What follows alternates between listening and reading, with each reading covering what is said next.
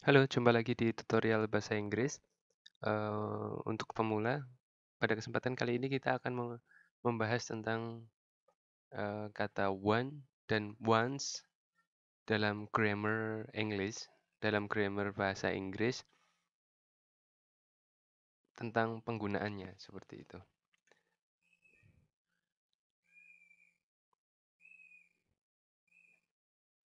Nah, kita menggunakan one, kata one ini, dan once untuk uh, menghindari uh, pengulangan yang tidak penting. Kata one ini adalah singular, kalau once ini plural. Contohnya adalah seperti ini. See those two girls? Helen is the tall one, Jane is the short one. Nah, jadi penggunaannya seperti ini. Jadi kata one ini kalau di bahasa Indonesia kan itu kalimat Helen is the tall one itu bahasa Indonesianya Helen itu yang tinggi. Jane adalah yang pendek. Nah, kayak gitu.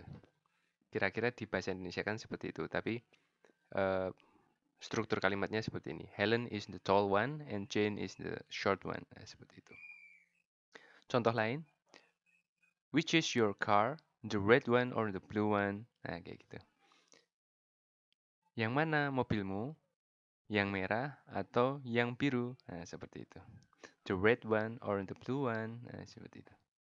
Nah, contoh berikutnya. My trousers are torn. I need some new ones. Nah, kayak gitu. Berarti ones di sini plural.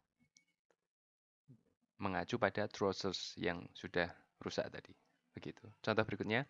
See those two girls. Helen is the one on the left. Nah, Helen adalah yang berada di sebelah kiri. Nah, gitu. Kira-kira pemakaiannya seperti itu. Paham ya? Kira-kira mudah sekali insya Allah.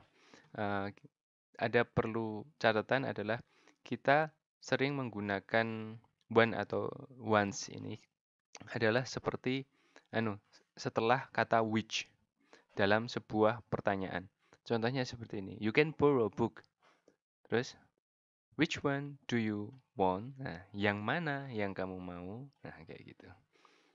Which one ini yang mana? Ya, seperti itu. Contoh lain, there are lots of books here. Which ones are yours? Nah, seperti itu. Silahkan dicermati. Sekian.